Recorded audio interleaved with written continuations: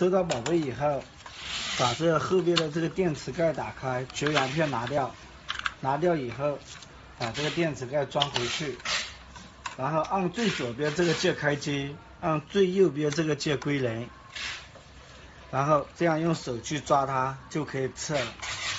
然后第二次测，然后按这个归零，然后再第二次测。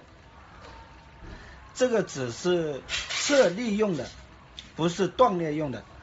断裂是用这种断裂用的，用这种。